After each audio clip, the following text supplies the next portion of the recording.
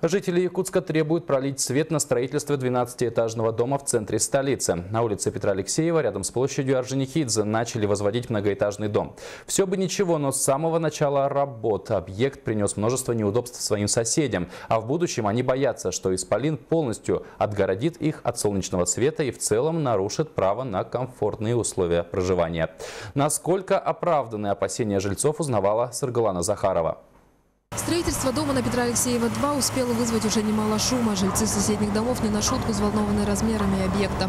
12-этажный исполин может стать высокой стеной перед уже существующими малоэтажными зданиями, закрывая их от и без того скудного северного солнца. И проблема не только в этом. Негде будет поставить машину. Опять начнутся те же проблемы, что вот в Москве. Ставят просто на дорогах машины, ставят, загораживают проезды.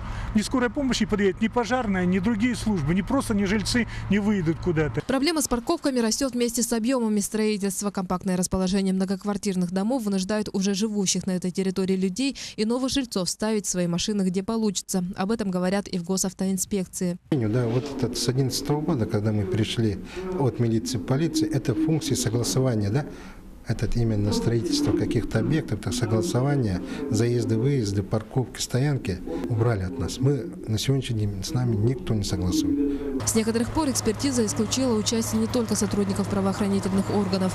Проекты могут проходить проверку в частных организациях. С этим столкнулись и в нашей ситуации.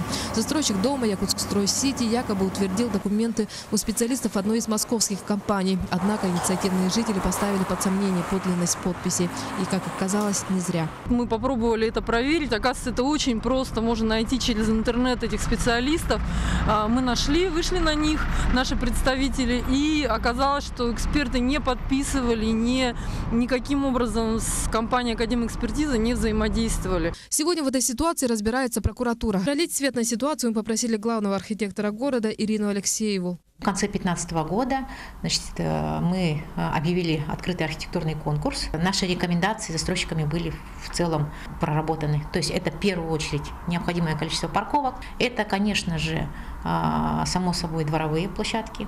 Вот и открытые стоянки для того, чтобы люди могли ну, использовать вот, по назначению эти объекты. Конкурс и правда проходил год назад. Он освещался не раз в средствах массовой информации. С населением градостроители тоже встречались, но здесь у каждой стороны есть своя точка зрения. Власти говорят, что проект население одобрило, но жильцы утверждают обратное. Возмущенный владелец части земли, на которой обосновалась стройка. Как оказалось, она захватила участок, принадлежащий одному из столичных предпринимателей. В 2012 году он отсудил ее у местных властей, но так и не смог ей воспользоваться конца. В 2012 году мы подали заявку на участок, увидели свободный участок в окружную администрацию. Нам отказали, конечно. Мы подали жалобу в суд.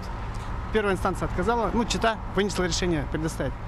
Это было еще в 2012 году, и в эти, все эти годы мы никак не могли исполнить это решение арбитражного суда. Вызывает беспокойство еще и то, что строительство ведут в непосредственной близи от четвертого магазина, который стал визитной карточкой старого города. Ветхое здание, по мнению жителей, может не пережить масштабную стройку. Во что выльется противостояние нового Якутска со старым, покажет время. Саргалан Захарова, Юрий Филиппов, НВК Саха, Якутск.